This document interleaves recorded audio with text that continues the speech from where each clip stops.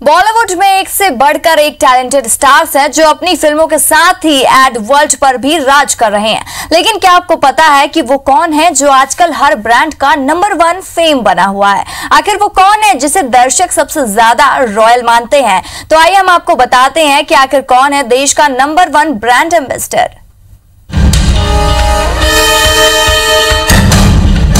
न चला दबंग का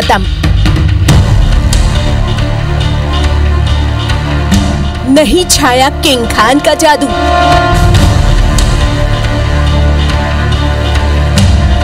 जीत नहीं पाए खिलाड़ी।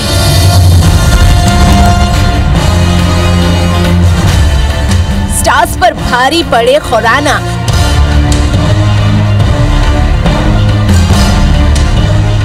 नंबर वन ब्रांड है आयुष्मान।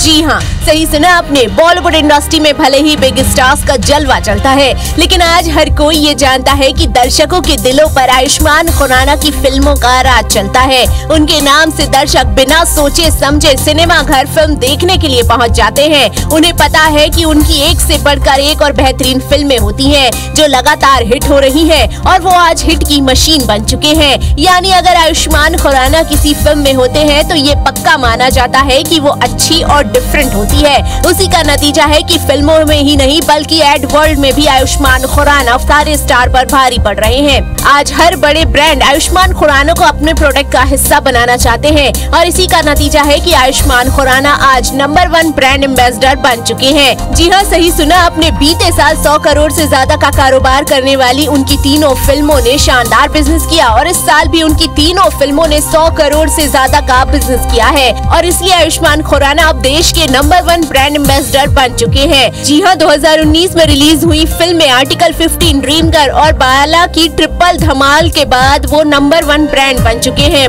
बता दें कि बड़े स्टार्स के साथ बड़े उत्पादकों की कमर्शियल फ़िल्में बनाने वाले निर्माता संजय राउतले ने कहा है कि किसी ब्रांड को अपने ग्राहक तक पहुँचने के लिए एक ऐसे चेहरे की ज़रूरत होती है, जो कामयाब होने के साथ साथ भरोसे के लायक बात का पक्का और समाज में बदलाव का पक्षधर हो। आयुष्मान खुराना को आज की तारीख में इसी का फ़ायदा मिल रहा है।